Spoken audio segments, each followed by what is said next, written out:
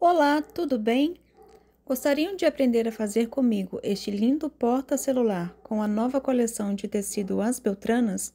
Então fique até o final do vídeo e confira esse passo a passo completo.